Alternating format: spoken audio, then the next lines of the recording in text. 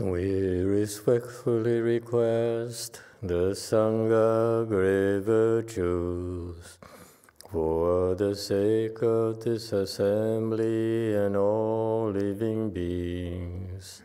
Please turn the wonderful Dharma wheel to teach and guide us how to end birth and death, leave suffering and attain bliss, and quickly realize non-birth. Cung đến đại đức tận thịnh vì thứ pháp hội cấp nhớ thiết chúng sanh tịnh chuyên diệu pháp luân giao đạo hạ môn như há liêu sanh thoát tư ly khổ đạc lạc thức chứng vô sanh Homage to the Blessed, Noble, and Perfectly Enlightened One. Namo mô Sa Nan Thô Sư Chế Đô Yê La Hư Đi Sa Miao San Pu Tô Xie.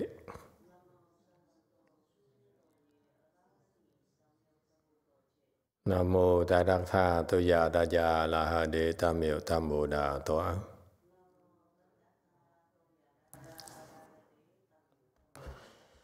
The unsurpassed, profound, subtle, and wonderful Dharma in a hundred thousand million aeons is difficult to encounter. Now that I'm able to see and hear, I will receive and maintain it. I vow to fathom thus come one's true and actual principles. 无上甚深微妙法，百千万劫难遭遇。我今见闻得受持。愿解如来真实义。O Buddhas and Bodhisattvas, Great Master Hui Neng, Great Master Xuan Hoa, and all good monks and nuns and all good no advisors, 阿弥陀佛。诸佛菩萨，呃，六祖师父上人，各位出家人，各位善知识，阿弥陀佛。 Chư Phật Bồ Tát kính thưa lục tổ hòa thượng Địa Hoa, quý thầy cô và quý vị thiện tri thức A Di Đà Phật. Hello everyone. Today is uh, the last Saturday of November 2022. We are here in Wei Mountain Temple uh, to continue discussing the Six Patriarchs Sutra. Thank you all for coming. We are on slide 246 is near the end of chapter 2 about the teaching on prajna, the, the six patriarchs version. It's a shortened version of how to develop, to develop prajna in our practice, which is actually the uh, goal for all Chan practices. When we practice Chan, is in order to develop samadhi and thus unfold our prajna wisdom. And here, if this is very important part of this, uh, this uh, sutra, he uh, taught us how to um, uh, make uh, this uh, development happen a lot quicker. and typically, the interesting thing about, I think, about the greater patriarchs is that they gave us uh, the insights into how to do it, and in particular for Master Hsuan Hua and in a greater extent Master Six Patriarch, is that they taught us uh, in particular the things to avoid uh, doing uh, that will inhibit our unfolding of practical wisdom, which is most teachers don't have. Okay, we are in 246 Sutra text. Proper views are transcendental, deviant views are all mundane. Deviant, proper, pro, completely destroyed, the Bodhi nature appears spontaneously. 正见明出世，邪见是世间。邪正尽打却，菩提性宛然。Okay, so he says, uh, in order for you to transcend this world, you need to develop proper views. Uh, because when you learn the proper views from the Orthodox Buddhism, uh, this will have direct effect of helping you escape all the suffering and attain bliss. And not just transcend this world here from a, just a non-Buddhist perspective, like for example, the other non-Buddhist spiritual practices also proclaim they are transcendental. Uh, actually, they only talk about transcending the desire realm where we reside. Whereas the Buddhism also brings you to the top of the world, transcends this desire realm, the form realm, the formless realm, and way beyond. Okay, so this transcendental here refers to get out of the wheel, because only in Buddhism can you find the knowledge and the wisdom and the technology and the track record uh, practitioners who have transcended the world. Hmm. And in contrast, he says deviant views are all mundane, hmm. Meaning that if you don't believe, you have deviant views, meaning you don't believe in cause and effect, uh, then uh, you will be bound to this world. Uh, meaning that, you see, what's hidden meaning here is that if you harbor certain worldly views, uh, this is what prevents you from opening your true wisdom. This is so damaging. This is because these views here, when you uh, harbor such deviant views, then you will not be able to transcend this world. You cannot escape the wheel of suffering, the recurring wheel, the wheel of recurring incarnation.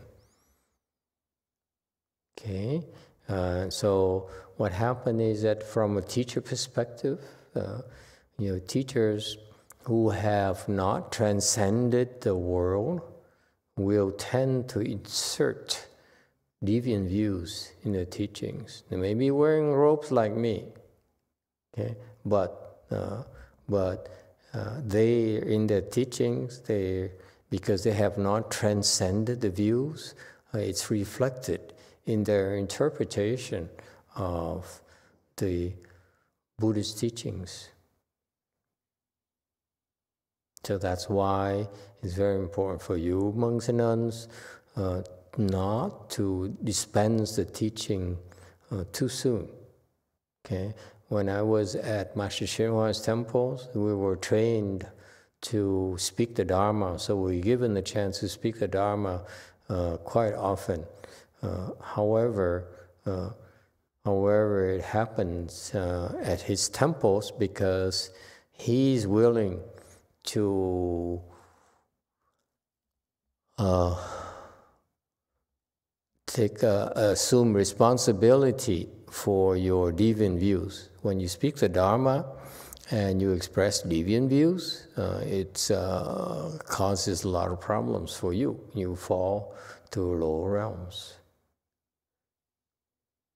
So that's why, uh, that's why when we spoke Dharma at Master Hsuan's temples, he was supporting us. He says, This is your drills. I will let you speak the Dharma, and I will assume responsibility should you have to fall into woeful states.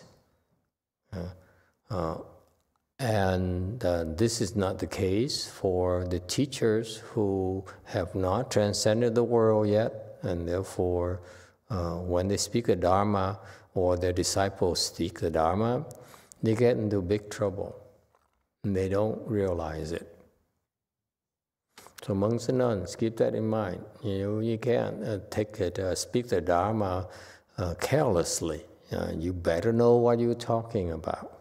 You better open your wisdom first before you should speak the Dharma. Yes, this is uh, uh, what uh, the interpretation here.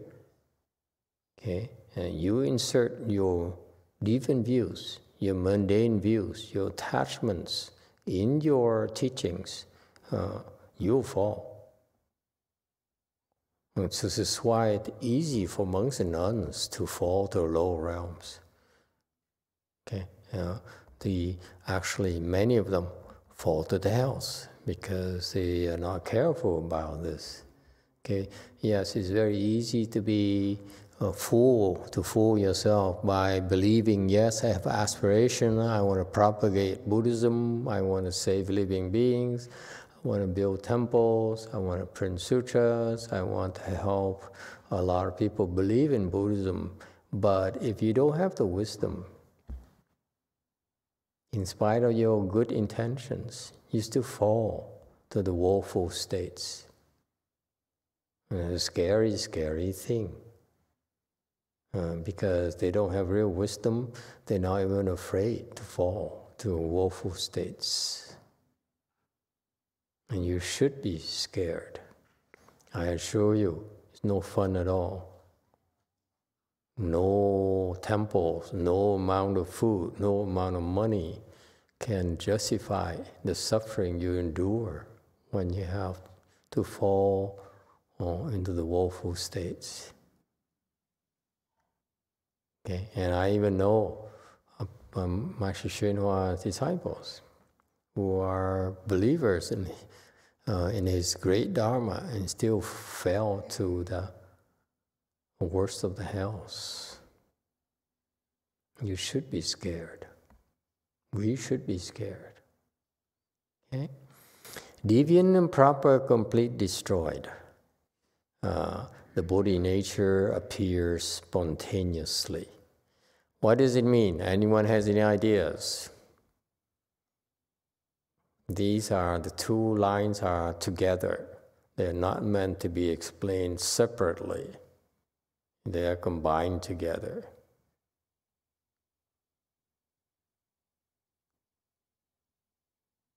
Anyone would like to try to explain this? No takers? Okay, then I explain it for you. Okay. Uh, when you practice the Dharma, okay, uh, it's very important for you.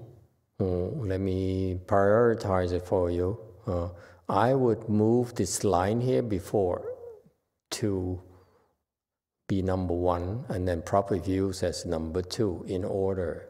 Because here's what happens when you practice, you engage in any type of spiritual practices at all, uh, you want to make sure to avoid deviant views because that's what's going to make you fall and uh, close the door on you.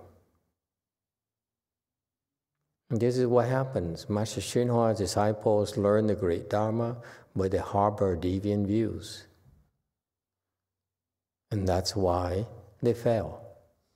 Okay? They stay in the world. Mundane here means the sixth path of reincarnation, the hells, hungry ghosts, animals, asuras, human realms, and the gods realm. The six realms. All right? Mm. So I would, if I, if I had a, a, a, choice, if I were, I were allowed to do that, I would move number one to number to two, swap locations here. Because the first thing you want to do to avoid uh, harboring improper views, especially deviant views. Okay? Uh, number two, now you avoid the deviant views, and therefore you have a chance. At least you will not fall. Okay? And when you won't fall, then in order for you to transcend the world, you have to hold the proper views. You see, that's, that's very imperative for you to understand that.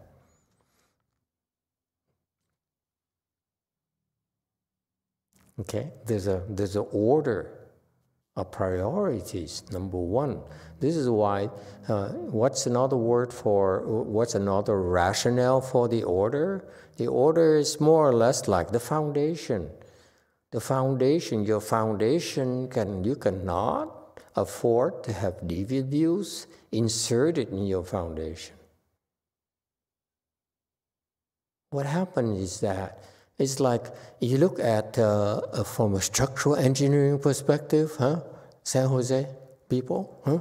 You have a structural perspective. You have this huge foundation, this huge structure there, and if in that structure you have cracks, which are called also sim- symbols symbolic of deviant views, okay, the cracks will no multiply and will will become bigger as you add more weight, as you ascend, as you go to higher levels of samadhi, the crack in your foundation will widen and will cause serious damages to your building. Yes? And that's why when you do, when you build a structure, like a structural engineer in San Jose, isn't it imperative you build the foundation properly that's appropriate for the the structure that you plan to erect eventually, right? So it's the same thing. The deviant views are the cracks, are the imperfections in your foundation. That's why they're so imperative for you to build, uh, to avoid uh, those, those, uh, those uh, mistakes in your foundation. Is that clear? And then the proper views are the proper structures for you to reach higher heights. Okay? Any questions about this?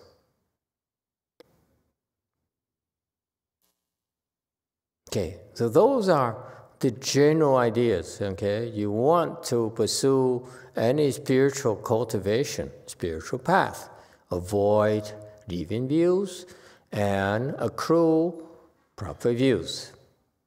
Is it clear? Okay. Now, okay, uh, it's so important for you to increase your proper views. Okay, in order uh, to make it to four stage arhats. If you have improper views, you will not make it to four stage arhats. Your improper views will stop you from reaching that level. So that's why you have, mm, you want to definitely take the side, uh, the side of the proper views in order to make it to four stage arhatship. And that's why many teachers out there, I've seen in particular the very big names and the uh, well known teachers out there, uh, they, in spite of their Dharma age, they didn't make a fourth stage arhats because they have improper views. Improper views snuck into their beliefs in the faith system. They don't even realize it. And that's why, unless you have a good no advisor, you will not be able to detect it.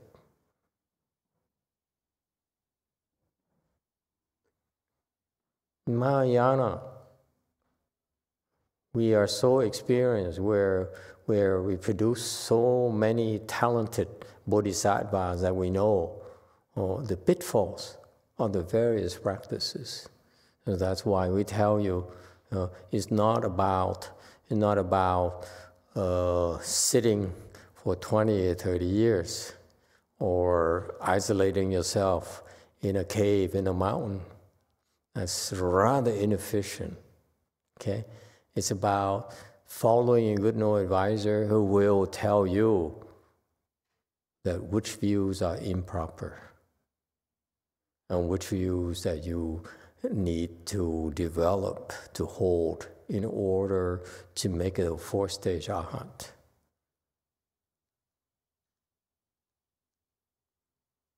Okay? Mm. And then, uh, just before you reach four stage arhatship, okay, uh, by sticking on, by staying on the proper view side, just before you reach there, you have to let go of even those proper views before you can certify to fourth stage arhat. On the other hand, if you only hold improper views, you probably fall. You probably uh, you probably regress before you make it. You have a chance to get even close. Is that clear? This is this is the pitfalls of the monks and nuns and the lay people who practice without good no advisor. This is a, this is what the Chinese used to understand, but they don't get it anymore because their teachers don't stress it to their disciples anymore. And as one of the pitfalls in Master Hua's teachings as well, he did not stress this to his disciples. Until you become a Buddha, you always cultivate under a good no advisor. Doesn't matter how good you are, doesn't matter how advanced you are, let alone to think you're better than anyone else. That's a deviant view.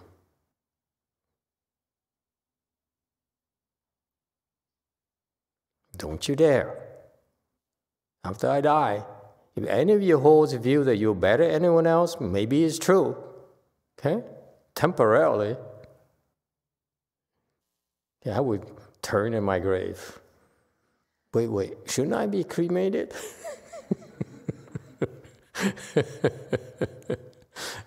you understand? It is so important. Okay? Uh, but before you reach there, before you get there, just before you get there, okay, by taking the path of the deviant, of the, of the proper view, and renouncing the deviant views, you have to drop both. Okay? That's why it says deviant and proper are completely destroyed. He's referring to that very threshold where you cross over to enlightenment. We're not talking about small enlightenment, the Hinayana people talk about, I don't, I don't even bother, okay? But you, first stage and second stage arhats, it's too low, okay? It's so low. Okay, that we don't even bother to call it enlightenment, you know. Uh, uh, but you reach a fourth stage, ah, now I'm interested. When you get to close there, I say, ah, now, now we have to make sure that we help you avoid harboring those deviant views because that's what's going to stop you. Okay, but okay, but at the threshold you, you even may not, cannot have any proper views. At that point, you still have to renounce your proper views. But only at that threshold, not before. If you announce them before, you're in big trouble. You see how delicate it is. This is why it's so easy for those, especially Sunims who went to the, the countries uh, that, that uh, have great teachers and have systems built to, to uh, teach you cultivation, cultivation, meditation, so forth.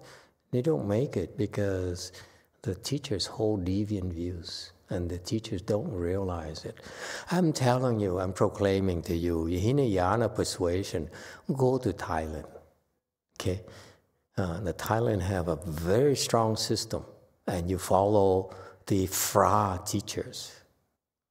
I would not even follow non-Fra teachers in Thailand. The prior teachers are the one who made it.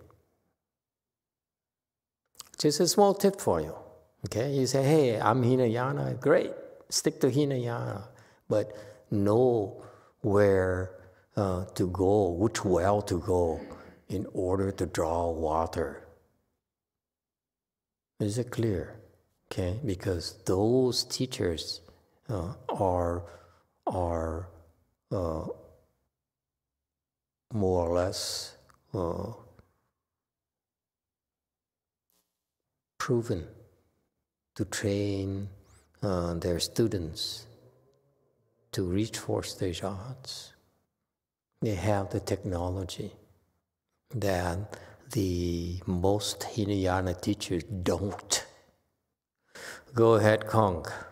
I'm telling you because I know I met so many young Korean uh, uh, disciple, I mean Sunims, Vietnamese Sunims, Taiwanese, and so forth, and they have this beautiful aspiration, commendable aspiration, to uh, become enlightened and save the world and help living beings, but they don't know where to go. And no one dare take a stand and say, yeah, hey, you know, this is where you ought to go okay? Uh, because, because they are so easily misguided by following uh, these uh, uh, known teachers or the places that have the nice facilities. For example, in Taiwan, Taiwan has a lot of great temples. Uh, um, I send my disciples there Master Xian Jie, I sent him two years to Taiwan, say, I, I spring you loose. You, you know, I hope you find a teacher. If you don't find a teacher, they probably can build a temple for you. They love pale-faced monks. Okay, you don't have to come back to our tiny temple because it's too embarrassing for us. Know, we don't deserve your patronage. and so, sure enough, over there, he went to the temples there and that he went to. Uh, unfortunately for him, he chose the temples that have all the facilities, all the reputation, but not the ones who have certified to the fruitions yet. And the proof is that without that, uh, they could not protect him. Even, even those who are got, who got the fourth stage arhats cannot even protect Master Xianjie. And that's why he had to come back to the U.S. Uh, uh, in all his non-glorious achievements to say, okay, let's pick it up where we left off. okay? Yeah. And so, uh, so be careful, you Hinayana people. Oh, it's not just Koreans. I saw too many Korean Sunims make that mistake. Uh, too many Vietnamese, especially I feel for the young Vietnamese, the young Tibetans who follow the wrong, the wrong path, the wrong teachers. They have such uh, commendable aspirations. Okay, so for you in San Jose, in Kong, in JMT, at DTT, here WMT, okay, uh, our practice is to follow a good no advisor. Do not practice by yourself. And if you happen to believe in Hinayana, go to Thailand. If you happen to believe in Mahayana, you have to come to the US. Okay? That's what the best teachers are right now. Just to save you time. Okay? And it's okay for me, I can say those things and offend a lot of people, uh, but uh, it doesn't matter because no one believes me. Okay? Uh, Joe Kong. Hello, Master. I have a question. When people who didn't reach the uh, level and try to explain the principle of Buddhism from Mahayana Sutra or Mahayana texts, would that be a, the like deviant view as well? Yes, and they, they tend to develop deviant views without knowing it. What happens to the scholars, what happens to the people who are not enlightened, this includes fourth stage arhats, is that they're, they don't have real wisdom yet. Mm, And that's why when they explain sutras, they may have heard it from the great teachers. It happens too often. Are many people, monks and nuns, as well as lay people, uh, at Master era, they would go to the great teachers. They said, I studied from Master Xu Yun, I studied from Master Xuanhua, I studied from their contemporaries, uh, what is it, Tai Xu in Taiwan, uh, Hong Yi in Taiwan, Dao Xun Taiwan, uh, and those people, uh, Su Hang Taiwan, uh, uh, the uh, various uh, patriarchs uh, in China in the Wei Yang lineage. Okay, Mm. quite many people, uh, teachers are enlightened as well. Okay, however, uh, however, for those teachers, uh, especially the ones who are not enlightened yet, uh, the ones who are just got to fourth stage arhats uh, in Vietnam, Thailand, and so forth. What happened is that they, when they read sutras, they learn one sutra, they, they study the explanations of one sutra, and then uh, more explanations of another sutra, and they try to synthesize, to try to combine them. That's where they have problems. If they stick to only to the teachings of the enlightened teachers like Master Xu Yun, like uh, Master Xuanhua, okay, then they stick to that under the umbrella, they're safe. This is one reason why Master Xuanhua disciples are very smart. They don't stray from underneath his shadow. He says, This is what Master Xuanhua says. If you ask him a question, he says, This is what my teacher says. Okay? Yeah, I, funny, I asked him, his disciple, I said, What do I do about this? He says, Well, let me see. Uh, I'm not sure, uh, Master Shua, I, didn't I don't remember Master Shua uh, uh, talking about this. However, the other teacher, the other, you know, like a tutor, a great Master tutor, in his book, he says, um, he says, this is the kind of, uh, of uh, thing you ought to do. So right there, they're trying to bridge between two teachings. Okay, that's when this kid here, I mean this this uh, monk here, got in trouble. That's why when you try to do that, he cannot develop his own wisdom. That's why he's not a fourth stage arhat, even a fourth stage arhat. Because that's what happens to people. They try to synthesize, yes, what Ma- Master Shua taught is right, it's proper. What Master Chucha taught is right and proper. But it's for different audiences, for different uses. Very much like when I first explained the sutra here. The Sixth Patriarch Sutra is for low level students back then. Now your level is much higher, therefore I explain it differently for you. You look at the two, maybe there's some, some clashes, some, some contradictions. You look closely. It, because it's not the same, the same audience anymore. Yes, eight. From Jesus, do our improper views manifest in what we say only, other also in our behavior? You, uh, it's not something you can detect yourself. It's impossible for you to detect. This is why you, we follow a good knowing advisor. It doesn't matter. I've seen too many people practice by themselves for 20, 30 years. This is why I, I do not like Great Master Xu Yun's practice. He practiced by himself. It's too inefficient. I love the dedication. I love the, the, um, the sacrifices he made. It's incredible. The purity is incredible. However, it's just horribly inefficient. That's why he became enlightened at the age of 54. To me, it sucks. You don't practice from 19 to 54, and that's when you become enlightened. That's too slow. Not for us Americans. Okay? You don't have time. Like the Chinese, they have they're way ahead of us. We need to do catch to play catch up.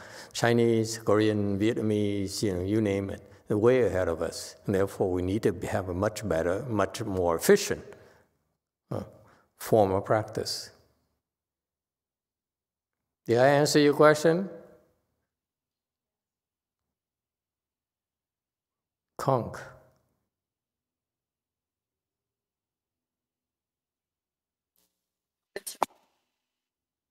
어, 영어 유튜브에 올라온 브레인님의 질문입니다. 명상 또한 치사 간택 유의 조작 아닌지요? 저도 모르겠어요. 치, 치사 간택 유의 조작. 현안 스님도 모르겠다.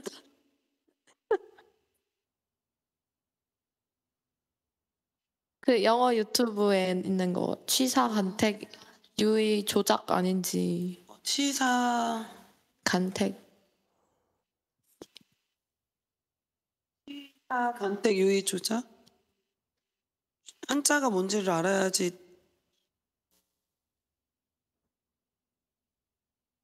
아 명상이 그런 게 아니냐 아, 아 명상이 마음에서 조작된 거 아니 아 so okay we gather all the information together to translate this sentence So the question from the YouTube is meditation also uh, fabrication of our mind? Like for example, we selectively choose or uh, renounce something like that.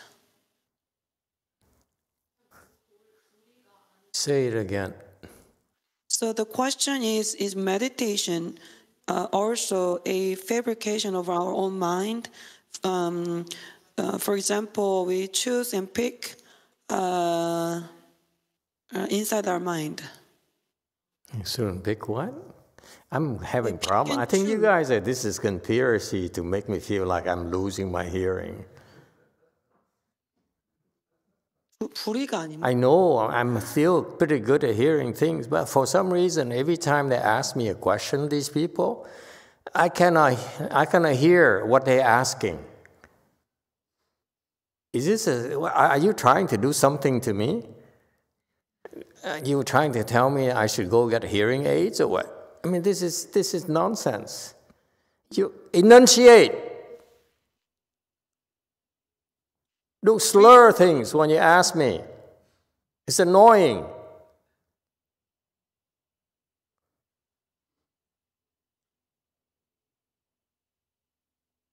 Well, so the question is in Chinese. We try to translate, but we're not sure.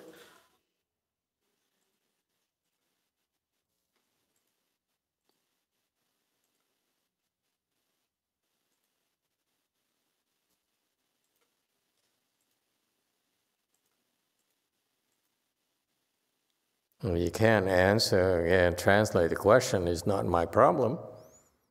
Hmm. All right. So when when he's talking what he's talking about here, deviant proper completely destroyed, he says he says theoretically that's what happens that moment. At that moment for you, or for your Bodhi nature to come forth, to manifest spontaneously. Meaning you don't you don't have to do anything.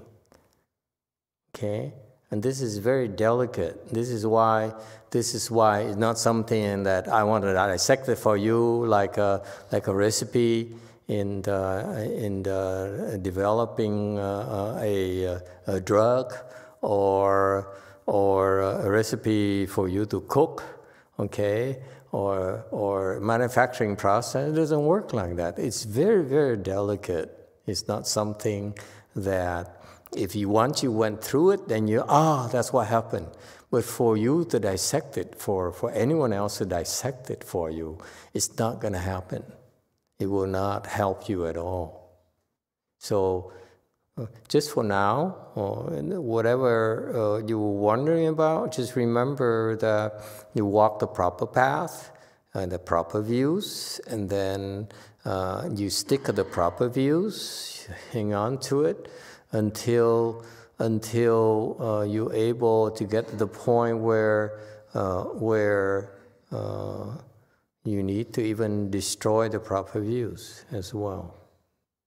Okay, and that's when you become enlightened. The Bodhi nature here re- refers to your uh, your enlightened nature comes to the fore, manifests itself. Okay, so this is a very delicate process. That's why, uh, that's why uh, the Hinayana practitioners they have to isolate themselves so that they are not corrupted by the environment, especially not just the environment, by you, deviant people. Okay, that's why men are the worst uh, polluters, men are the worst uh, corrupters in the world. Okay, men are corrupt. Ask Donald Trump, he'll tell you. Okay, uh, and so uh, so that's why the Hinayana practice, that practice there, they have to go away from people so that they avoid the corruption. And that process there is what they do. In their Hinayana process that the uh, Thai people, the Thai system have perfected. If they can do the real and proper, completely destroyed, that's when their enlightened nature came to the fore. Okay? Their caveat, however, they have become, they accomplished small enlightenment, uh, they uh, tend to be stuck there because they don't have the technology to go beyond that. To go beyond the small enlightenment of the fourth stage arhat is even more work that uh, that is proper. It's better accomplished by the great assembly dharma, by stick by practicing with others, not by yourself. And that's why the Mahayana practice is far, far superior. And that technology was brought by Master Hsuan Hua to the US. Okay? It's no longer available in China. I'm sorry. You want the Great Assembly Dharma, you have to come to the US. There's no replacement. And I need to tell you that. You may not believe me, but 50 years from now, 100 years from now, okay, people remember that uh, I'm a small time monk who said, You should have done it because Master Hsuan brought the technology here. He didn't teach it in China, he taught it here in the US.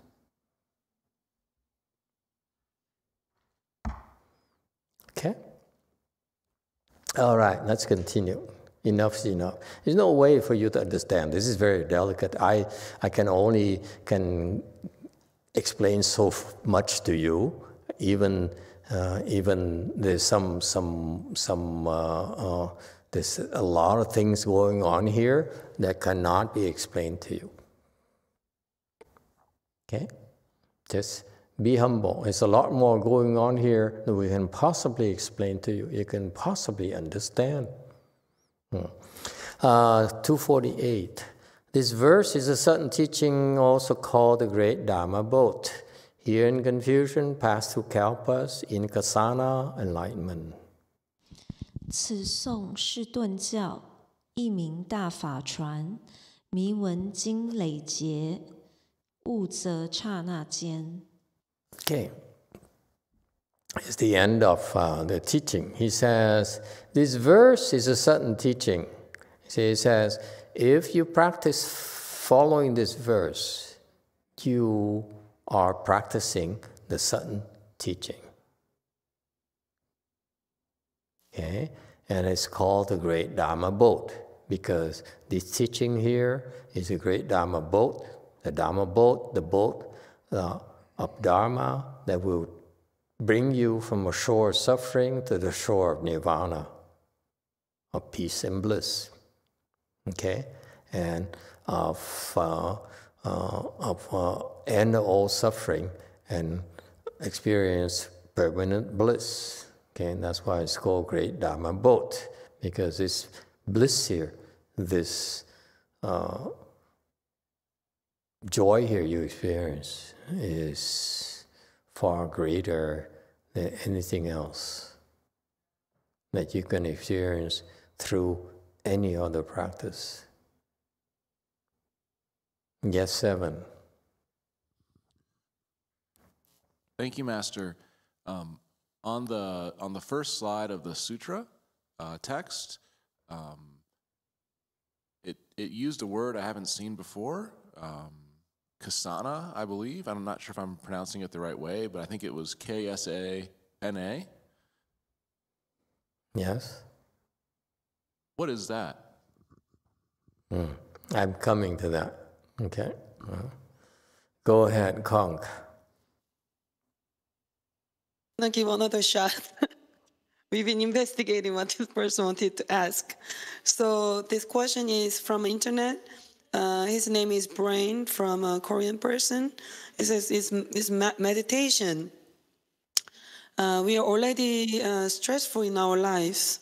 So it's meditation, try to fool ourselves, meaning the ego is trying to fool ourselves by pick and choose and prove like um, uh, decide what it means, uh, fabricate, uh, provide uh, specific meanings to whatever happens. So is it like a fake?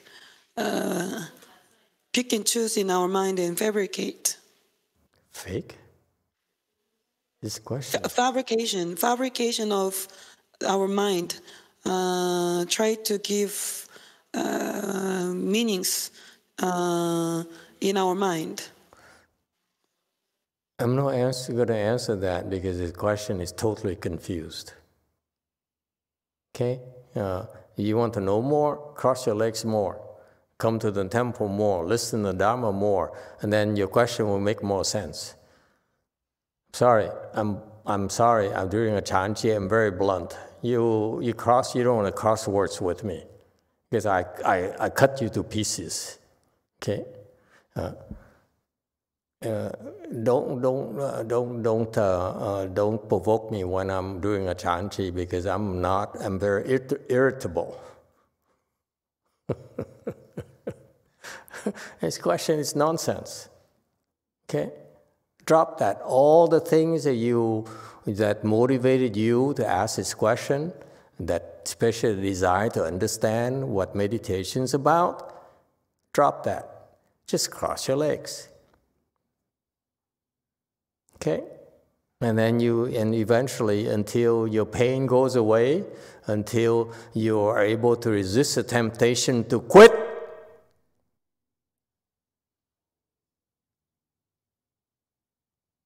then your question will make more sense. Right now, this question is nonsense. It's not something you can understand intellectually. You have to do it before you understand why. This is a fallacy of you young people, you newcomers. You want to understand, you don't want to do it.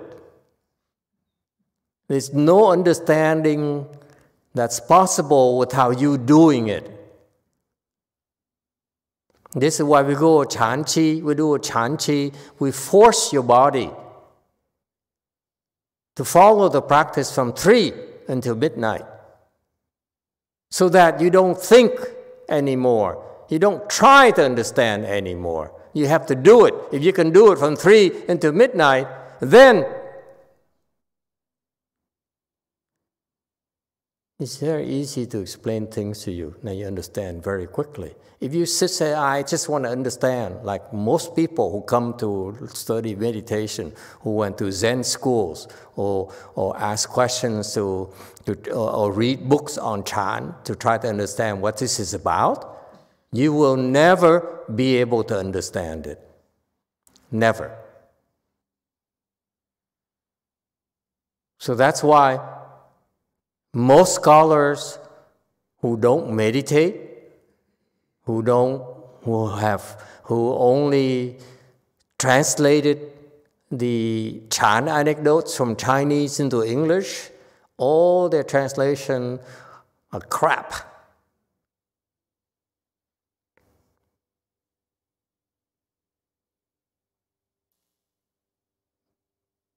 You cannot understand Chan until you cross your legs, until you follow the Chan training.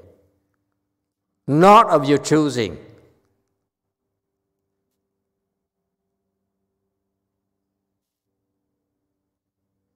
You don't choose to do what you wish. That's contrary to Chan training. Chan training is that whatever you're told to do, you do. You don't need to understand.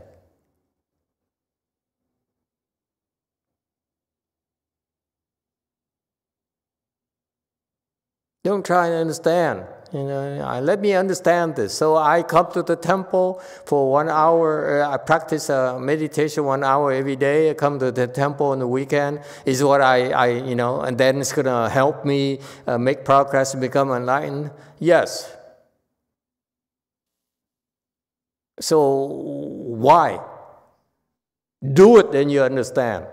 You have to get there. Chan is about me bringing you there, not about me explaining it to you. Because I cannot explain it to you. I can only bring you there. Then, whatever I said will make sense to you. If you're doing day in, day out hour after hour, day after day.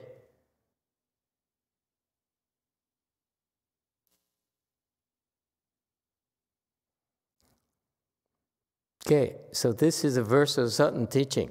The master, the great teacher says, What I'm teaching you about this Prajna teaching here, what's different about it versus from the other teachers, including enlightened teachers, is a sudden teaching. Called the Great Dharma Boat.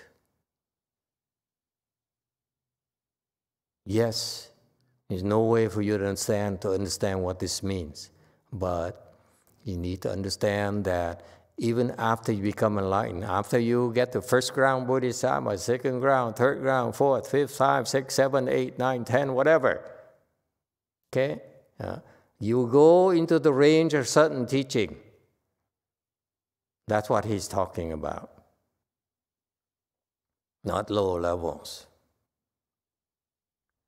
And this Dharma boat here is uh, the boat that's a little bit bigger than Noah's Ark and take limitless number of living beings across.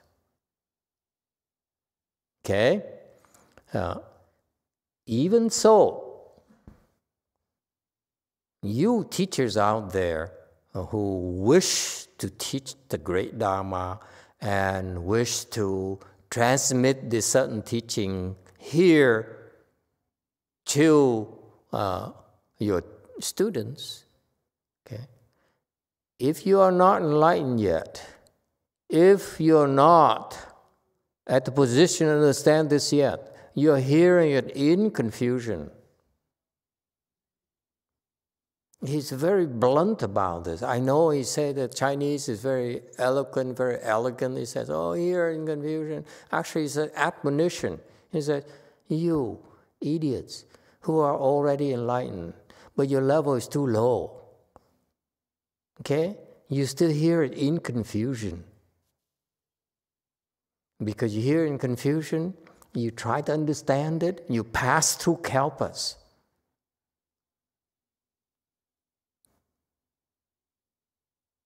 You're hearing it in confusion. That's why you practice by yourself. You're going to be, you're to have to go through kalpas of practices.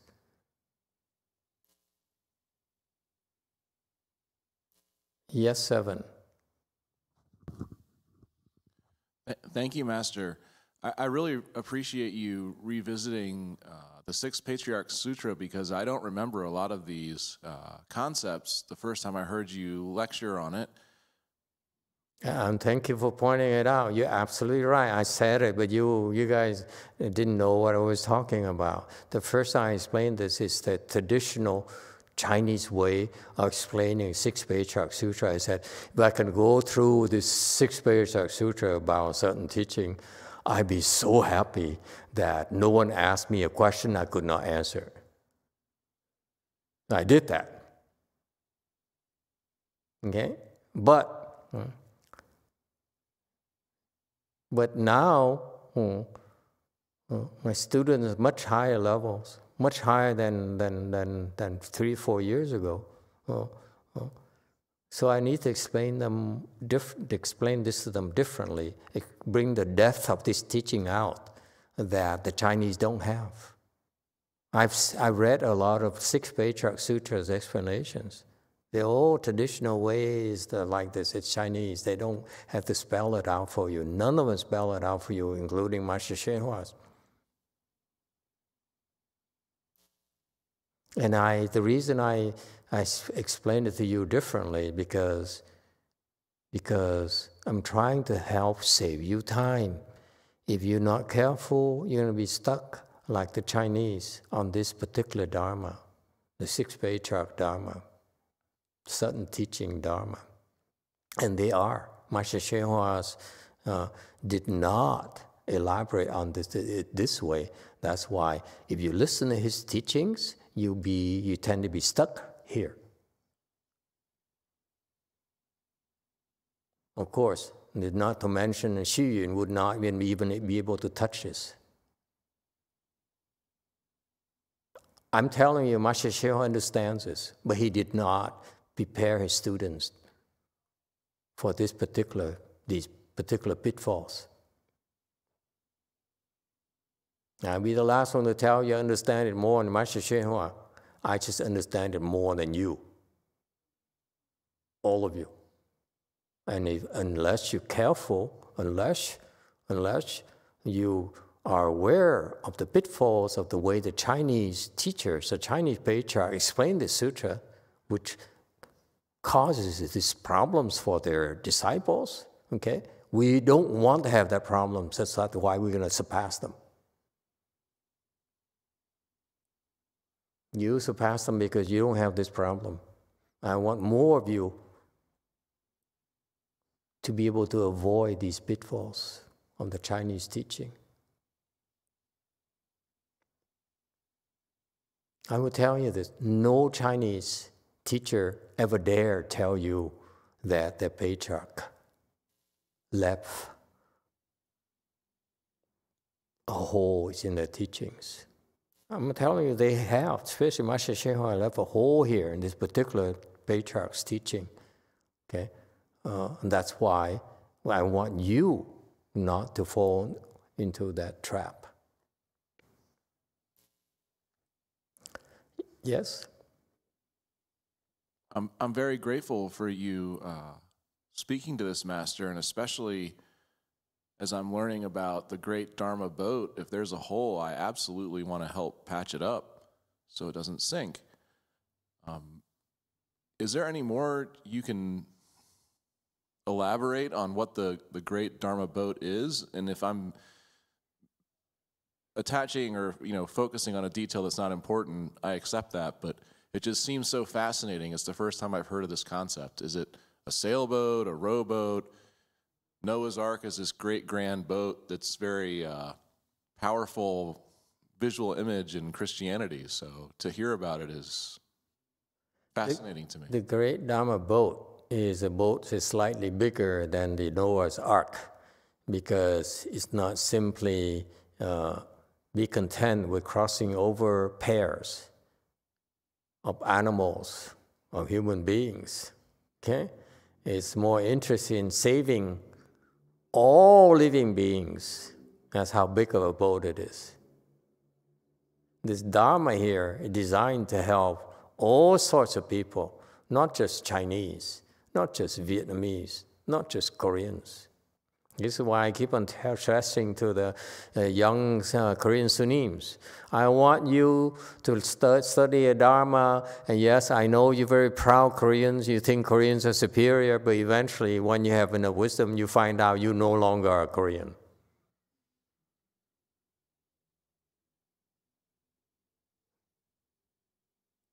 Okay, because the Dharma we're teaching you, we're practicing, is a big, the great Dharma boat, where we uh, use that Dharma to cross over all sorts of living beings Jews, Muslims, pale faces, black faces, red faces, yellow faces, young, old, deviant, proper, everyone. We don't discriminate at all. Okay? Mm. And, and yes, seven. Master, I have a question about the deviant and proper views. Um, how do you Okay. know if uh, you're right on the right uh, foundation and you don't have like cracks in the building? And you know, when you're building a samadhi level, I don't want like the building to fall down. Right. And that's what happened. What happened to the lesser teachers is that they allow the students to harbor those improper views. Why? Maybe the students are the one who gave them a temple, who gave them money to do the Dharma propagation, who they depend on. And therefore, they're afraid to lose that support.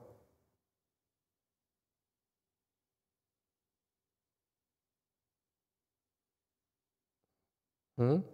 You know, like my master said, you know, said, you know, in, in some temples, there is a Taiwanese to support the temple who, who donate the money every month so to pay for the, the utility bills and all the bills and the taxes and so forth, and the salaries and the stipends and so forth.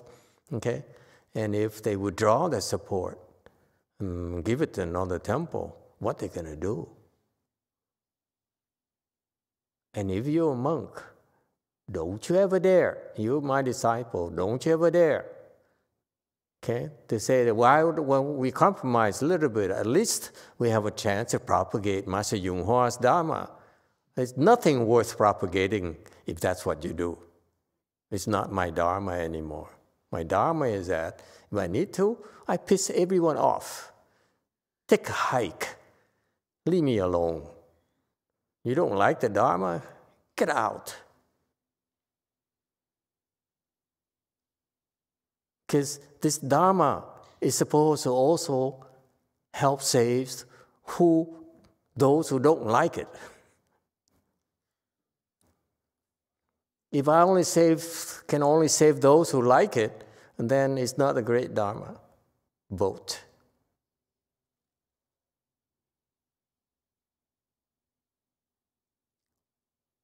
Okay? And what happened is that if you practice and you have deviant views, you don't know. Just because you go to Master Hsuan Hua's temple, for example, and listen to all his teachings, I guarantee you, you have so many cracks in your foundation you don't even know. That's why part of my work is sort of talk differently to remind you, make you reflect, okay, about the foundation you build upon his teachings. That's why I'm I always insisted on you that to listen to both. Hmm? His is a start, okay, and mine is sort of like the, the check. His will take you very far, but mine will take you further. If you get rid of the cracks in your foundation. His has cracks in the foundation, and I don't find it, I find it unacceptable. Xu Yun has too many cracks in his foundation. I said, don't even bother talking to me about Xu Yun's teaching. Yes, seven. There's a lot of um. There's not too many Master Hsuan Hua um, stuff in English. So there's one that lasts like seven hours of some woman that sounds like a robot on YouTube. Is that a good one? Or, I mean, this, this just the stuff I found on YouTube in English. You, if uh, Master Hsuan the best, the best way to learn his teaching is in Chinese. Because what happened is his disciples are not good enough yet. That's why the translation to English is limited to their wisdom level. They could not, they, they miss out on these sudden teaching part. For example, specifically, they miss out on his sudden teaching part. Okay? Uh, so that's why, if possible, listen to it in Chinese. If you can't, listen to it in the English of his disciples, not anyone else's. Because his disciples are the highest level practitioners of Mahayana in English. That's a fact. Okay? He did a great thing for us in producing disciples who are able to translate his teachings to up to a very high level. Okay? That's all that he could bring them to. We're going to have go higher, much higher. And that's how, you know, that in order to get higher, we need to avoid the cracks in his foundations that appeared because of the translation. Not because his original teaching is improper. Okay, some I disagree. Okay, but his angle is different from mine. But, mm, but most of the cracks from his teachings are from the English translation.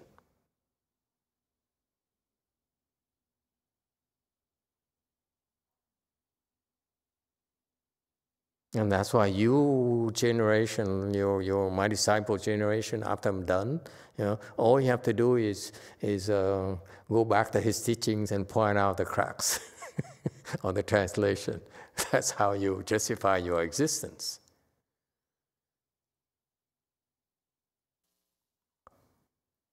They're fantastic translation, but because of the cracks, you can go so high, you go higher, you're going to be in trouble.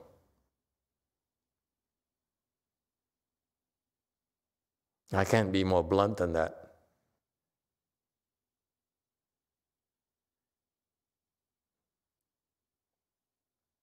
Okay, uh, the Great Dharma boat, because it accommodates a lot of people. Okay, uh, and uh, you hear confusion, you pass through kalpas. Okay, kalpa is a long, long time. The smallest denomination is the, the small, smallest uh, uh, number you can think of is 16 million years. One kalpa. Okay. So you hear confusion, you can you can cultivate this Mahayana Dharma here for kalpas for millions of years, tens of millions of years, hundreds of millions of years, billions of years, trillions of years. That's what he's referring to. The Chinese are very, very gentle. I'm brutal, I'm telling you. Kalpas here refers to trillions. It ain't going to be 10 million, 16 million, it's going to be billions of years. Trillions, gazillions. Okay? That's how difficult it is. That's how delicate it is. Okay? Uh, uh, here, confusion pass through uh, kalpas. Okay. However, the sudden teaching here, you hear the sudden teaching from Master, Master, Master uh, Patriarch here, Master Hui Neng. You hear his teaching. As soon as you hear it, in Kasana, Kasana is a very short duration. Okay, there are many different measurements from China, from, from India, and so forth. So they say that, for example, kasana could be like when you blink your eye. Okay, you blink your eye. Okay, uh, the kasana is a fraction of of that time right there. You blink an eye, a kasana is just a fraction, a tiny fraction of it. Or they may define it further, like a kasana, you know, in in uh, in uh, the thought you know, that you have like uh, uh, in in in a in in a thought there are 99 births and deaths. Okay, meaning that the, the, the, your thoughts arise there quickly. Okay, yeah, and um, and and so there are many different different uh, definitions, but kasana here. Uh, just for all practical purposes, don't blame us and say, how come you are not clear about this? It doesn't matter. However you want to call it, okay, how short, how long it is. The concept here, kasana, is a, an instant, very short duration, okay? Uh, shorter than, than your thoughts, okay, that you're aware of. You're aware of. She's aware of. She's aware of. She's aware of. All of you is much shorter than you aware of your thoughts. For example, give you an example. There's some people who says, I practice meditation, I sat there and all of a sudden I have no more thoughts. It's because they're not aware of the tiny, tiny, tiny subtle thoughts that's still occurring. They cannot detect them.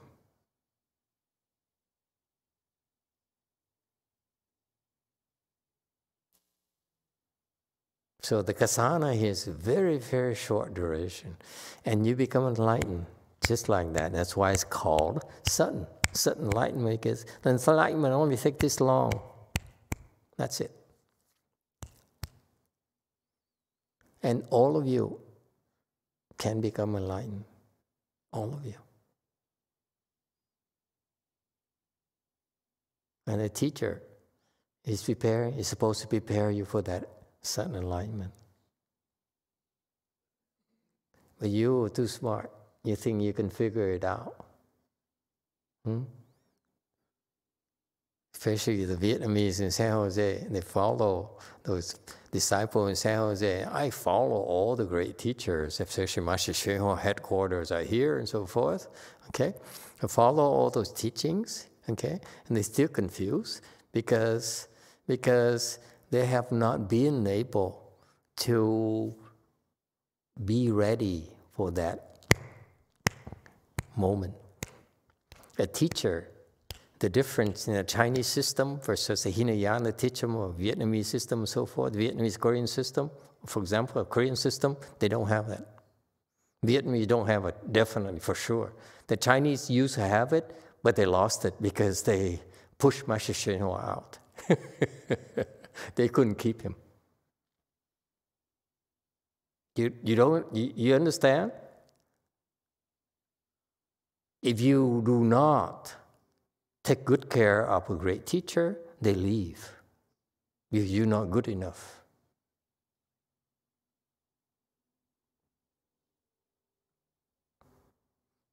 Okay, so so so that the teacher the good knowing advisor is a one.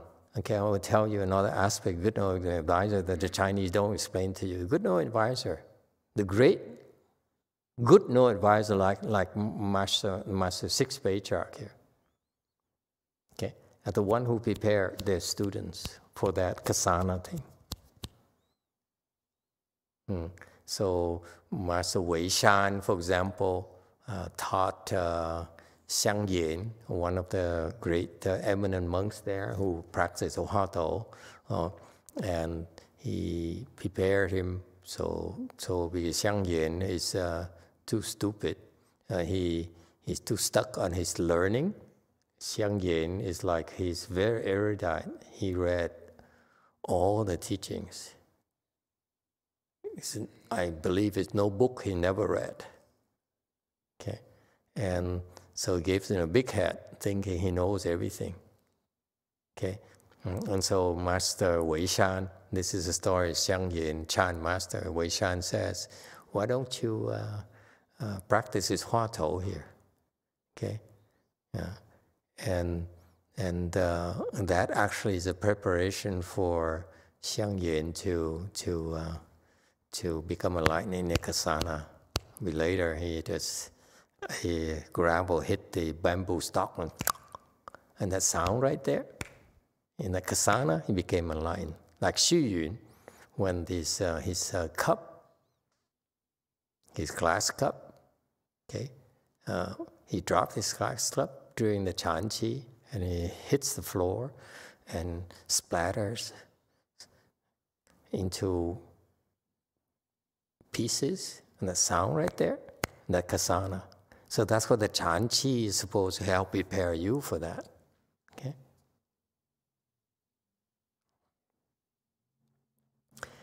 So, uh, in a kasana, enlightenment. Okay? Enlightenment happens in a kasana. That's all it takes. But in order to get there, you need to have the proper preparation. And it cannot happen unless you have the proper foundation.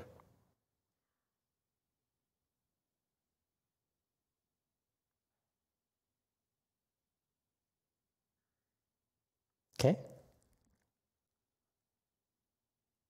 Hmm. You don't have, if you have confusion in your mind, I'm talking about uh, me here, uh, me here uh, it also applies to enlightened students. The, the enlightened bodhisattvas, they still are confused about certain things. Okay, they don't realize, they don't, they're not aware of the nature of their confusion. That's why they still have to pass through kalpas. That is the case in chapter 39 of the Avatamsaka Sutra. Good Wealth went through uh, the many teachers who, and got certified the first ground bodhisattva and went to the next teacher. And he had to go through millions of years of practices in order to certify second ground bodhisattva and so forth and so forth. Every single time, it took longer and longer and longer because he heard the instructions in confusion. And so he had to, set, to sit there and practice with them under their protection or the guidance. And just like Huike practiced under um, Bodhidharma for nine years, during nine years, Bodhidharma helped help pave the way, build the foundation for that kasana. That Huike wouldn't otherwise be able to from reading books, from trying to understand or asking stupid questions. Yes, seven. Thank you, Master. As I'm, I'm really appreciative of you explaining kasana, and this is just like a massive concept, you know, to be able to fit immeasurable time and kalpas inside of an instant. But so I understand, am I correct in in learning here that this hearing and confusion passing through kalpas in a kasana enlightenment is happening on the great dharma boat so the great dharma boat is facilitating this process no no mm. uh, uh, the Vietnamese is here. They, they got some Vietnamese resources. Says one thought is equal to nine, has 96 kasanas. Okay, that's how fast it is. That's why your mind is very, very fast. The enlightened people's minds are much faster than ours because they're aware. Okay? And the kasana there liberates their, speeds up their, their thought processes to, be, to become extremely, extremely fast. It's real. Okay? Uh, what, what he means is that the sudden teaching here is the teaching that is supreme teaching in Buddhism, in Chan. And that's why, unfortunately, Master Hsuan did not stress it in his teaching to his disciples. Maybe they're not good enough. Maybe he explained to the good ones. I don't know where they are. Okay? We don't know.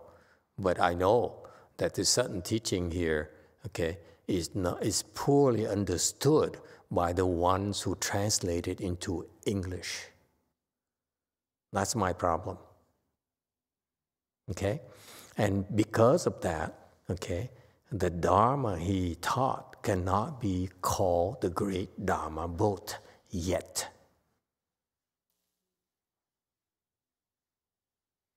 If in my generation,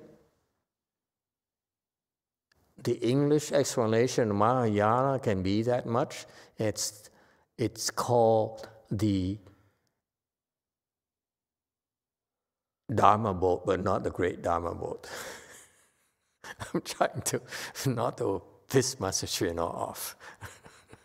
yes, go for us. A Di Đà Phật. Dạ thưa thầy, con rất là ngu si cho nên con không hiểu được cái câu thầy nói là nghe trong mê muội. Con không biết nghe trong mê muội là cái gì. Okay. Amitabha Master, uh, maybe because of my stupidity, I really don't understand when you explain the verse. Uh, here in confusion, what does it mean to be here in confusion?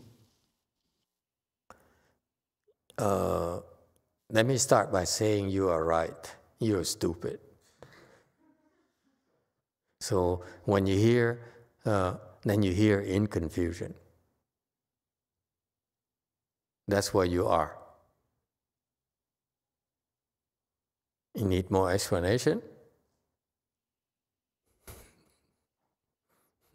okay, so the sudden teaching here, okay, is what we're referring to, he's referring to is the higher level of teaching. Okay, and that's why it's called the Great Dharma Boat. What Master Hsuan Hua is teaching that's translated into English is called a Dharma boat, not a great Dharma boat in English. That's a problem, in my humble opinion. And of course, uh, his disciples disagree with me. I, don't care. I can't care less what they think. Okay? Hear in confusion, okay, you pass through kalpas. You disagree, you don't understand, you are confused. And you're going to need more, many more kalpas before you have the chance to, inikasana, reach enlightenment through the sudden teaching.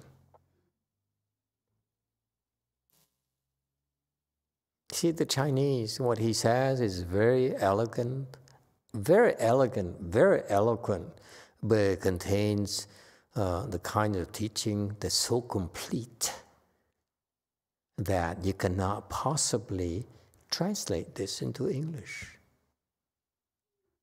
Okay, the translation is very good, but you read it, it's just uh, still not clear to you until someone beats you in the head and says, You are confused. That's why I can't explain to you. You're too confused. And just like most confused people, you try to understand. Instead of doing, you understand. You say, um, let me see if I understand this first before I do it.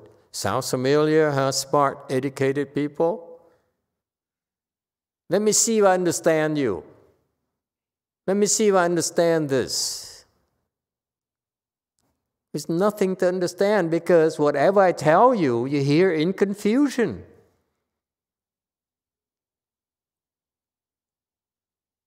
It's not possible for you to understand.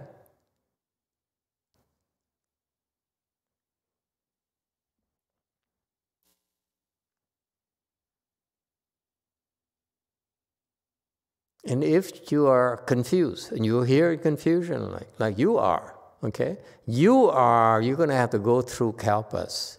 And that's why in the lady who just asked a question, you're going to have to go through kalpas. Go to the Pure Land girl.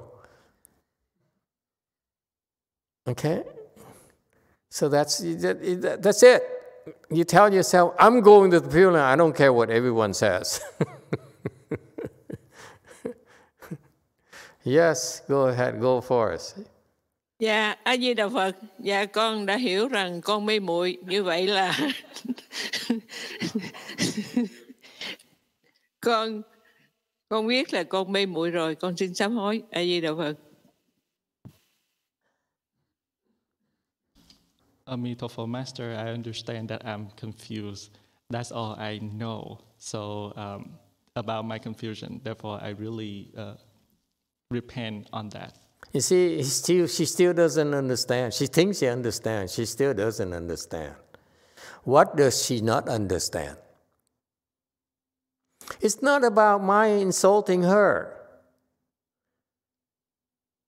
Again, no pleasure out insulting her. Well, uh, let's not go that far. There's no fun insulting you. Why am I insulting you then? Uh, yes, sir,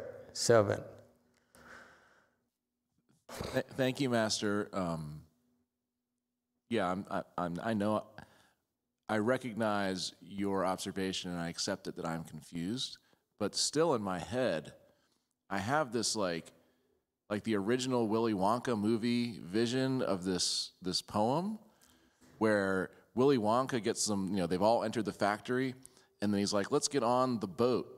And then they go on the boat through the tunnel, and the lights go all crazy, and he's like, you know, oh, we don't know what we're gonna see, and there's a song. But to me, that's what's happening here, right? You get on the Dharma boat of sudden enlightenment, and despite hearing Willy Wonka's song in confusion, you pass through kalpas and a kshana and gain sudden enlightenment. That's just my takeaway. This is about, it can be classified as a stupid question or comment that was I, uh, I called on uh, earlier from Korea. okay. Uh, he's, he's fascinated by the great Dharma boat here. And the great Dharma boat here refers to those beings who are able to practice this sudden teaching and can reach a very high level. And that high level practitioners, they can save a lot of people.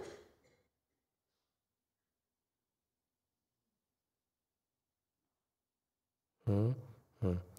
So, for example, Master Xu hmm, was pretty decent level, pretty high level of enlightenment.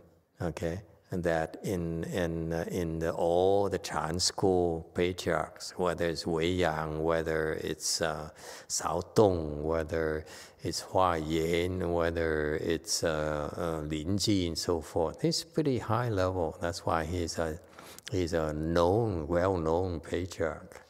Okay, uh, however, okay, his dharma, what he teaches, cannot be called the great Dharma boat because he can only handle so many people. He can only help so many people become enlightened. That's why his, his, uh, his uh, help is limited. It cannot call great. Great Dharma boat, he refers to the capacity of uh, the kinds of people, the number of people, the level of people who can be crossed over by your teaching. Master Huineng's teaching, this sudden teaching here, is a great Dharma boat because he can cross over limitless living beings, including very high level bodhisattvas, mahasattvas. That's why it's called the Great Dharma Boat it's able to handle people like us, all of us, Master Hsuan included.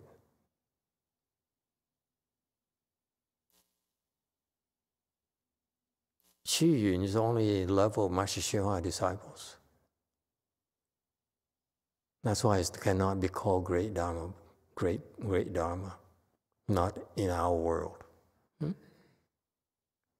Maybe he ran out of Chinese disciples. That's why Master Hsuan had to go to the U.S. and found better disciples. And don't get offended, you Chinese people. Okay? It's a temporary thing. Meaning that Master Hsuan Hua, he only had a window of 30 years to transmit his Dharma. So he had to go here, to come here and transmit it. But, but then, but then, so that it gives the Chinese and the Vietnamese and the Koreans a chance to mature, the seeds to mature. Okay? And that's why, that's why now he predicted, now the Dharma has to go back to those countries because the seeds are ripening. You understand? It's a timing problem here.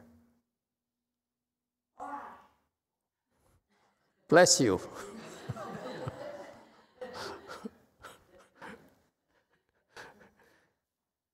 okay, but for people that the lady who asked, she says, I'm confused. No, she missed the point. The point is that I'm not calling her stupid. I'm calling her, I'm pointing out to her the, the, uh, the, the uh, time limitations for her. Okay? Because she's confused. She's hearing this Dharma here in confusion. And she needs to pass through Kalpas. And therefore, she better go to the Pure Land. Okay, number one. And number two, it's very important for me to stress as well, contrary to the Pure Land teachers, is that you don't simply want to go to the Pure Land. That's that the woman immediately jumps I'm stupid, therefore I should go to the Pure Land. No. What I'm teaching you, you need to go to Pure Land, but now you set your mind to go to Pure Land. The next obvious thing for you to do is go with the highest grade possible. That's the Pure Land Dharma. The Pure Land Dharma is not about going to Pure Land alone. Has to go there with extremely high rebirth grade. That's the Pure Land Dharma we're teaching, and that's what the Chinese and Vietnamese don't have.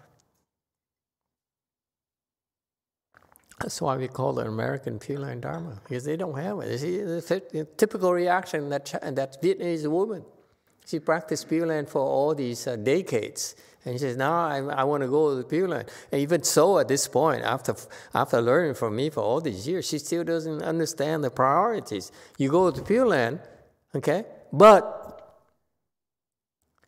very high grade. Going there is not good enough.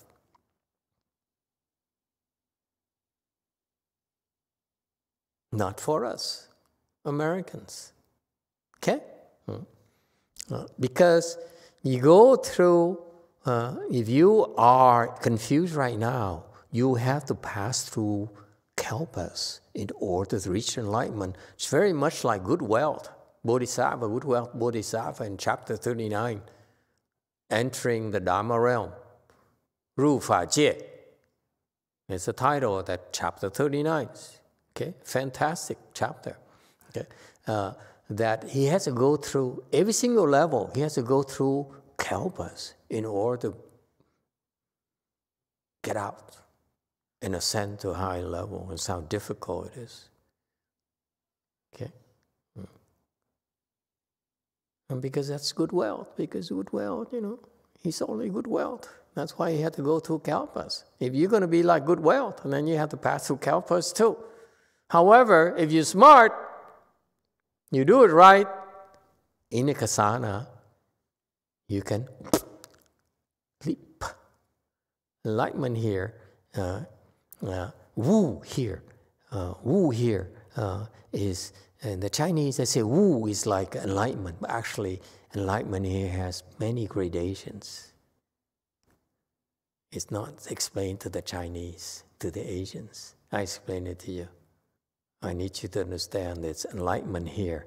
Yeah? Huh? Huh? Is even after you become enlightened, you still have gradations. You're still pretty stupid, actually.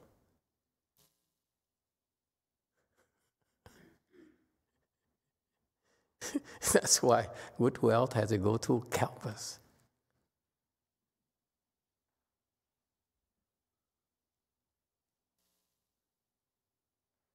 Okay? Hmm we still have 20 minutes. Okay, uh, 251. The master said further, in the Dafan temple, I have just now spoken the sudden teaching, making the universal vow that all living beings of the Dharma realm will see the nature and realize Buddhahood as they hear these words. 师父曰：“今于大梵寺说此顿教。” 普愿法界众生言下见性成佛。” 252. Let's go through this thing here. Let's dissect it for you. He says here, this is a big moment for Chinese Mahayana Dharma. It happened here at the Da Fan Temple. This very day, at this very place. Okay? I just gave you the sudden teaching. This is a very important Dharma for Chinese Buddhism. And it should be recorded in the history of Chinese Buddhism. It did happen here at Ta Fan Temple on this day. It's a historic moment. Is it clear? He cannot say, but we should understand it that way. It's, it's very, very big deal for Chinese Buddhism. The he one who said, for us Chinese people, this very moment here is the one that I officially transmit to you the sudden teaching. Okay?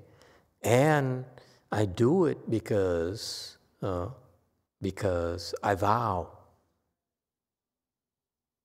that if you follow my teaching here, that I just dispense you at Ta Fan Temple today, okay, I vow if you follow my teaching, the verses here, all the verses up here before, okay?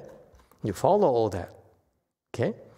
Uh, then I vow that uh, all of you who believe in this teaching, who follow my instructions, will see your nature and become enlightened, realize Buddhahood, okay?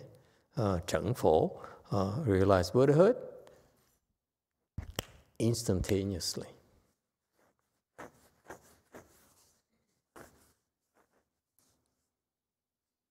Or if if uh, you you quote Amitabha Buddha, or else I will not accomplish Buddhahood myself.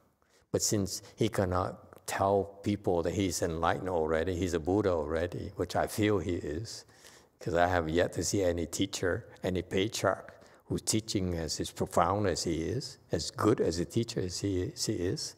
Uh, so he says, uh, uh, said that they will realize Buddhahood. And like this again here, to me, is a confirmation he's a Buddha already. Because he says, my teaching here, you should become a Buddha yourself. How can he say that unless he's a, he's a Buddha?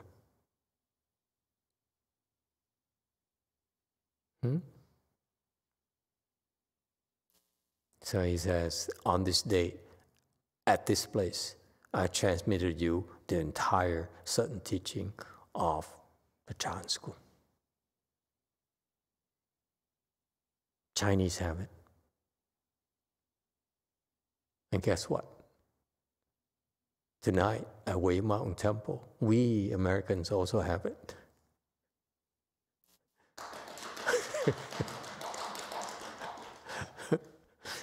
we have his Dharma, okay, not my Dharma.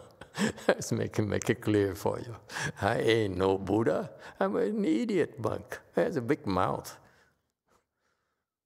Okay? It's a big, big deal. Okay?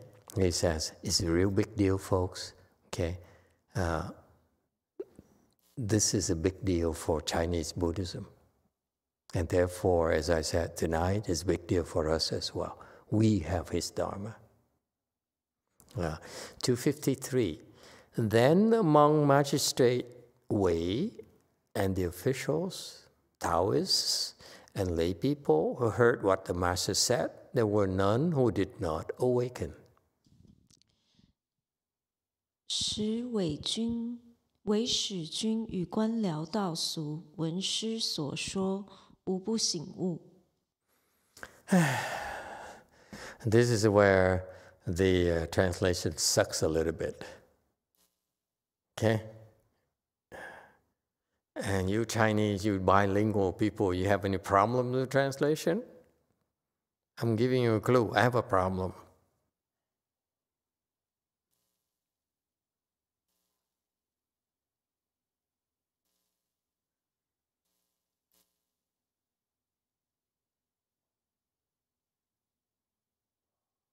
See, even Xiao Tai has to roll around the floor and say, I have a problem too.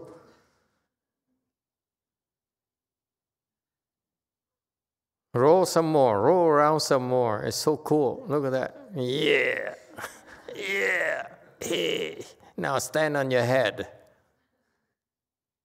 Can you do that? Oh, I have to teach you. Oh, you. No one taught you how to do that? Yeah, there you go. There you go. Look at that. Excellent. He understands how to do a headstand. Wow. How old are you again? 20?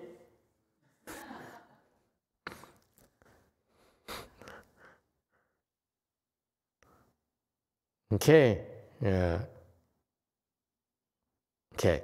Yeah. All right. Let's go to the commentary. Uh, um, uh, so at that time, among the audience, Magistrate Wei, who actually a very high level uh, practitioner for an official, that is, uh, and the officials, uh, and meaning his his uh, his colleagues and subordinates, Taoists and lay people, Taoist uh, practitioners uh, and lay people who heard what the master said. So you see, the teaching was bestowed upon a bunch of officials, Taoists, and monks, and of course, and lay people. Okay, and uh, so you can tell that Master Master Huineng's uh, disciples are pretty pretty advanced. Uh, uh, there were none. Uh, 呃，闻其所说，无不省悟。Okay, it's not awaken. This is what my problem is with the English translation. When I read it, when you read it, my first impression is that they become enlightened. No, no, no, no, no, no. Is that simple? It's not that simple. Okay? Of all these people who gathered there, a cross section of the best uh, practitioners back then uh, who followed Master, Master Huineng, okay, they heard it. So the, the, the, the sudden teaching has to be spoken for you, has to be bestowed upon you. Okay? Because you're worthy of it.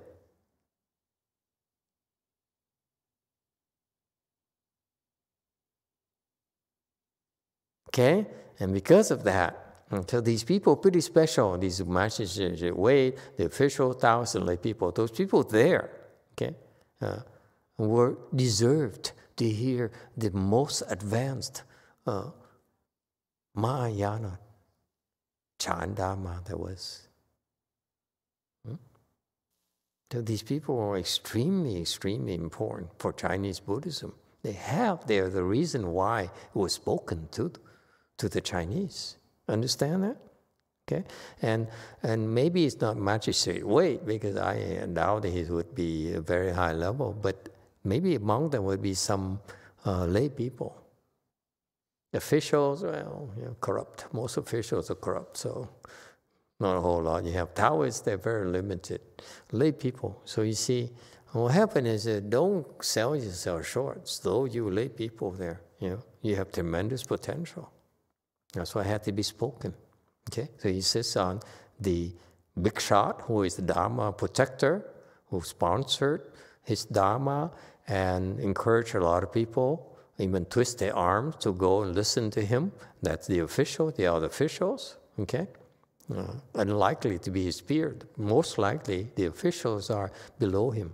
Magistrate, magistrate Wei was pretty high level. It's like a governor level of California, like Newsom kind of thing. uh, so he had a lot of officials he brought along with him. And this is part of your work. If you're a lay person, uh, you might want to put yourself in a position of power where uh, you, you help a lot of your underlings, uh, give the exposure. Okay? Uh, you make them go. You tell them to go. You don't explain to them. Hmm. So, and the Taoist people, these Taoists are the practitioners who recognize the Taoists may not have wisdom, but recognize that uh, because through their spiritual practice, recognize the Master Hui Neng's Kung Fu is very, very high, much higher than theirs. Okay? Uh, and lay people, uh, uh so uh, lots of lay people have tremendous potential under Master Hui Neng's thing, uh, uh, assembly. Wu, Wu Sheng Wu, all of them, no, none did not Sheng is to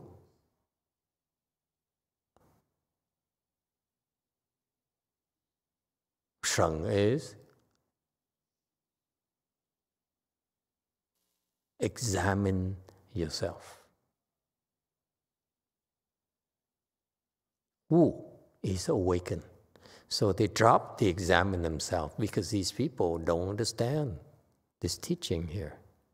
The teaching here is designed for you to look at yourself and think about your cracks, your imperfections, your in inadequacies. You don't look at others. Okay? You don't, people who come to the temple, you don't tell them, how come you don't do this? How come you don't do that?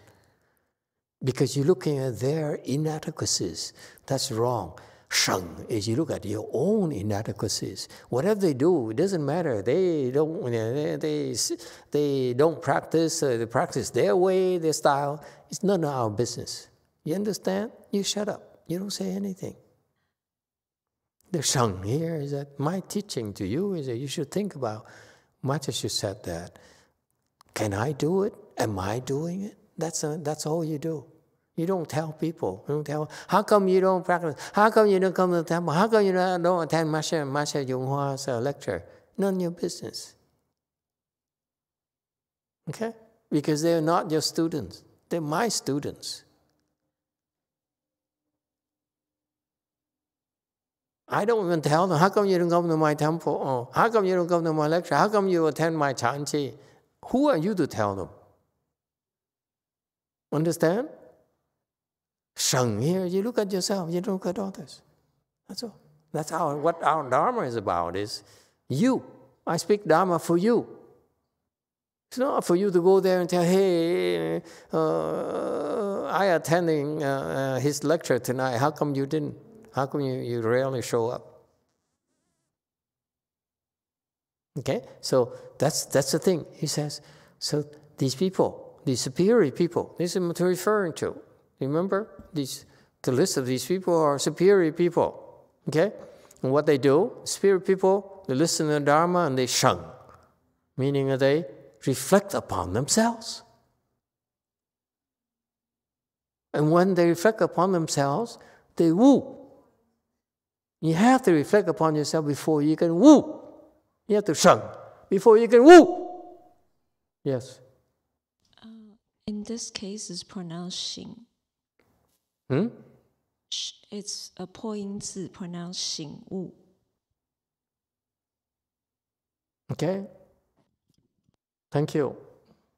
Taiwanese person. Can we trust a Taiwanese person to tell us how to pronounce Chinese characters? Huh? Chinese people. Can we trust a Taiwanese person? They call themselves Taiwanese, you know, they don't call themselves Chinese. Can we trust them?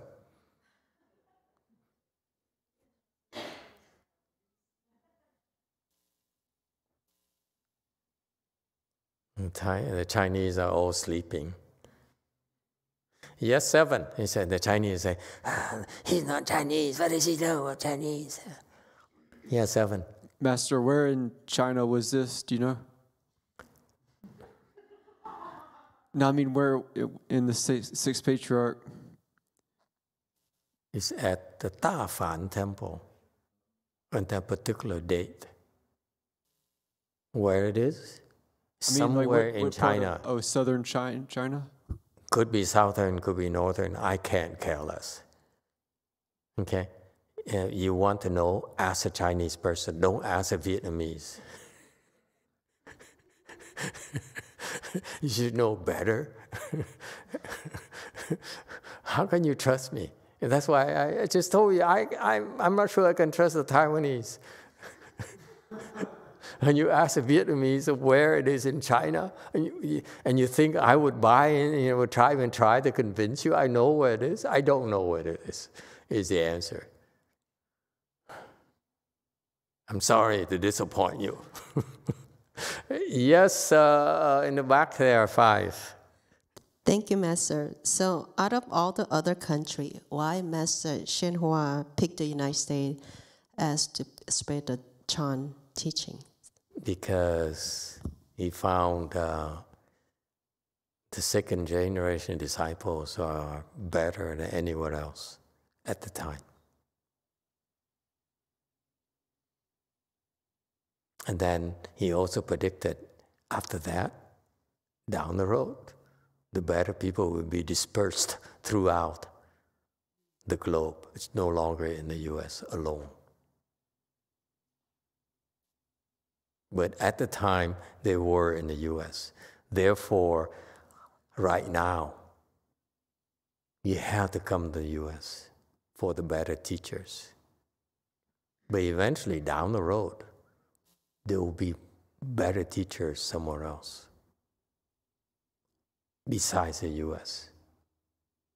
Okay? Yes? So until then, how many years do you think they will stay in the United States though? How many years or what? Of of Chan, great teacher in Chan's in the United States. Oh, maybe one or two generations. Thank you. We we much faster than before.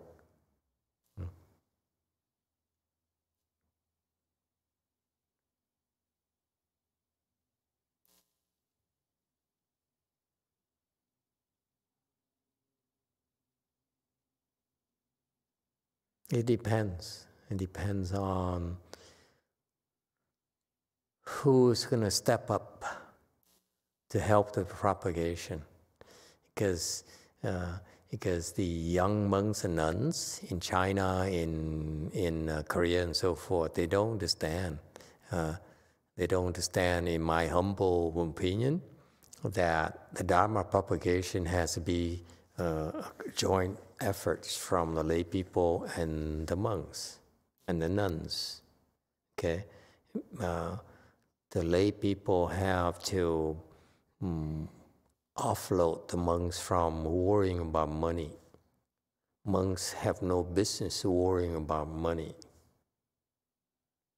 So therefore, their disciples, or Master Hsuan Hua disciples, have to offload that burden. Okay? Uh, for it to happen. So it depends on how, uh, how quickly it spreads, depends on how quickly the lay people wake up to that. And you don't need a whole lot of people. The most uh, lay people, they, they make donation, they expect something back in return. Like the you go to the Tibetan system, you give hundred thousand dollars. I'm told you get to have a seat right next to the Dalai Lama. It's kind of cool. Uh, but that's not enough. Only poor people would buy a seat there. uh, the rich people are the ones who, who, who propagate, uh, who support the propagation so that proportional to their level of blessings. They not just want, don't want a chair. They want temples. They want acres. They want mountains. Hmm? Hmm. So they sing wu, huh? Sing. Since the Chinese are so quiet, we have to take the Taiwanese thing for a while because it certainly is better than my Vietnamese thing. Okay, but but it's not permanent by any and by any means. The Chinese people don't get offended. Okay, uh, I'm very malleable. I can be bought. so Xing Wu. So so this they said so this is a process where you first awake. You should look at yourself. Okay, and Wu here you awaken. So you need to look at yourself before you can awaken. This doesn't mean it sounds like they listen and they whoa they become enlightened. No. Then, then uh, if it's not the case, does this mean this is inaccurate? No, it doesn't. It means that the first objective of his teaching is that it makes you think, reflect upon yourself. Am I enlightened yet? If I'm not enlightened, why not? What am I doing wrong? Hmm? That's what you do. And you you go along that line, down the road, you awaken. It doesn't mean they awaken immediately.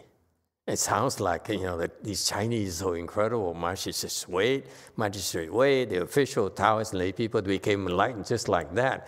And that's why I said, seriously? Is that easy? How come I struggle so much? Huh? Because I listened to it too. I read over it over and over and over, and I didn't Xing Wu at all. so what's wrong with me?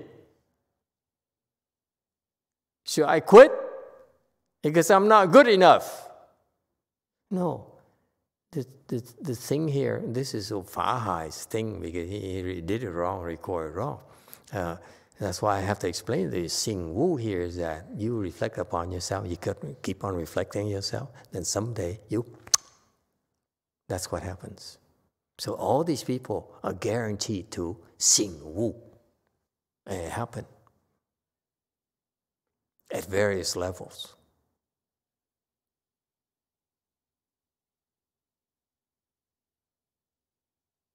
Yeah, look at Look at Xian Tong, how excited she is after I explain. So, if it's going to take that long, I'm going to, you know, what's the hurry, right? Right, Xian Tong, huh? What's the hurry? Uh, uh, let's try to wrap it up because we don't want to go back here again.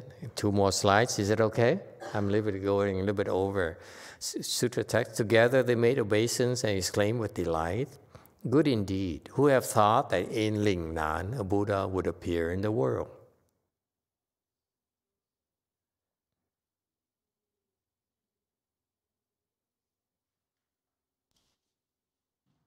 Sorry.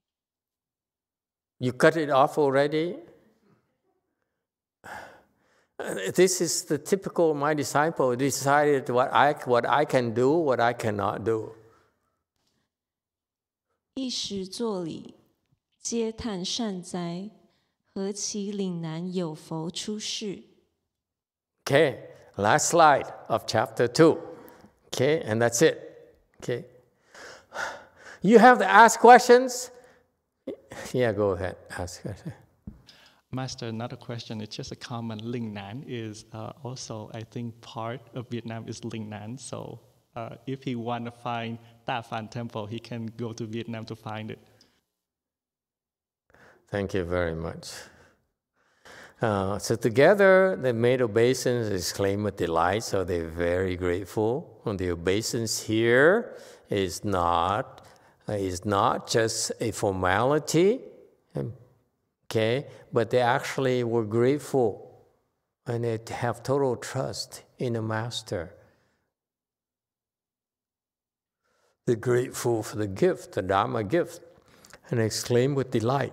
They said, Good indeed. Who would have thought that in Lingnan a Buddha would appear in the world? And literally, I feel he's the Buddha. A Buddha did appear in the world, in China. Okay? Oh, and this is important because you believe, you buy into this because these people were there, thought so. Okay? Then, then this Dharma he teaches is really highest level of Mahayana, highest level of sudden teaching. Sudden teaching has many levels too. Okay? But this is high level.